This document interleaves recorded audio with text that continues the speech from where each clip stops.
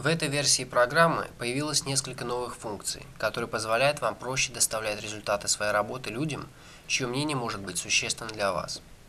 Теперь вы можете обсуждать со своими коллегами склейки и планы, и монтажную последовательность буквально в прямом эфире, независимо от того, где они находятся. Все это вы можете делать с помощью новой функции iChat.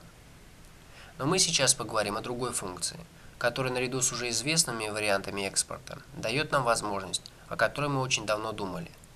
Я кликаю правой кнопкой на секвенции и выбираю команду Share. Открывшееся окно, по сравнению с компрессором, с которым мы познакомились на прошлом уроке, ничем примечательным не выделяется и по количеству полей выглядит очень скромно. В первом поле вы можете выбрать место, куда будет сохраняться ваш файл. Следующее поле предлагает вам готовые форматы для экспорта. Вы можете экспортировать видео для сервиса MobileMe. Также вам теперь не нужно ломать голову над тем, какие лучшие настройки использовать для загрузки файла на YouTube. Есть опция «Другие форматы», которая, по сути, является задней дверью в компрессор. Вариантов намного меньше, но чувствуется, что мы на территории компрессора. Но то, что поистине вызвало мой интерес, это возможность сделать Blu-ray диски.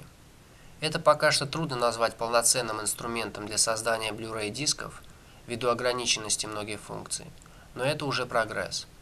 За последнее время Blu-ray диски стали практически повседневным событием нашей жизни.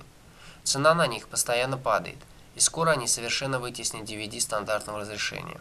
Если вы активируете функцию по авторингу Blu-ray диска, перед вами появятся варианты оформления меню и примитивные функции для него, которые вы можете установить.